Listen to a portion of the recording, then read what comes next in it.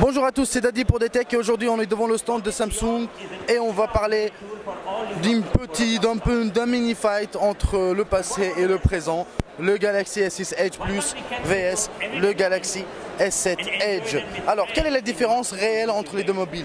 Alors, je vais vous offrir 5 différence entre le Galaxy S7 Edge et, le Galaxy S6 Edge Plus. Alors en primo, et je parle des majeurs bien sûr, on a le retour de la micro SD. Il est ici euh, certifié IP68, donc néanmoins vous pouvez le perdre dans l'eau, mais vous pouvez même nager avec et vous prendre et prendre quelques photos à l'intérieur de l'eau. Donc ça, ça reste à voir. En troisième lieu, c'est la différence des deux processeurs. Il faut savoir que sur le Galaxy S6 Edge Plus, on est sur un processeur maison, un super processeur, le Exynos 7420, euh, gravé sur 14 nanomètres. Mais sur le Galaxy S7 Edge, euh, on a le dernier processeur de chez Qualcomm, le fameux Snapdragon 820, tellement attendu. Euh, voilà, donc Samsung a mis le paquet. Quatrième raison, c'est l'autonomie.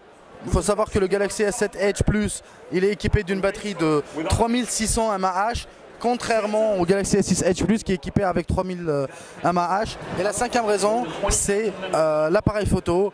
Même si personnellement je préfère celle sur le piqué bien sûr je préfère euh, l'appareil photo du Galaxy S6 Edge Plus mais on retrouve un grand angle et euh, c'est super lumineux surtout pour les, prises de photos le soir en, faible luminosité. Le Galaxy S6 Edge Plus se débrouille bien mais il faut pas se le cacher le Galaxy S7 Edge Plus se débrouille mieux disons. Voilà, donc on a l'ouverture, elle n'est pas la même. On est passé de 1,9 à 1,7, donc ce qui donne, ce qui offre plus de luminosité. Euh, amateur de photos, euh, ça sera peut-être l'un des critères si vous n'avez pas déjà le Galaxy S6 Edge Plus en main. Donc personnellement, maintenant je vais vous donner mon avis personnel. Moi personnellement, je trouve pas euh, intéressant l'idée de changer, si vous avez déjà un Galaxy S6 Edge Plus, de changer vers le S7 Edge euh, pour beaucoup de raisons. Déjà la première, le design qui est vraiment similaire. Euh, fait, Samsung ne s'est pas vraiment foulé sur le sujet. disons, ils ont essayé de chercher, ils ont essayé de rester sur la continuité parce que le mobile il a bien plu, il a bien marché. Voilà, donc ils sont restés sur le classique, ils n'ont pas pris de risque. Personnellement, je vous dis pas que ça me dérange, mais j'aurais aimé un peu plus de risques vis-à-vis de Samsung.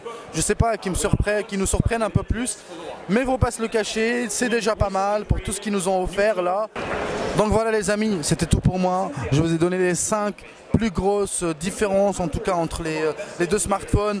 Euh, il pourrait y avoir d'autres, vous pouvez me les laisser toujours dans les commentaires. Si vous avez trouvé que la vidéo était bien faite, euh, bien moyennement réalisée, vous pouvez toujours me donner votre avis. Il faut savoir que je viens de débuter sur YouTube, donc votre avis compte toujours pour moi.